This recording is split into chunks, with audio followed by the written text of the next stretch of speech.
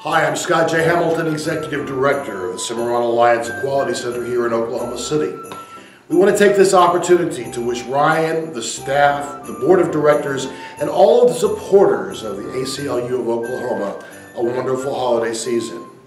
Our partnership with the ACLU is one that we place great value on because you are as dedicated as we are toward advancing equality and justice for all Oklahomans. Thank you for the work that you do.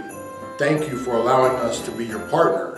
And thank you for the promise of a new year when we work together toward a fair and just Oklahoma.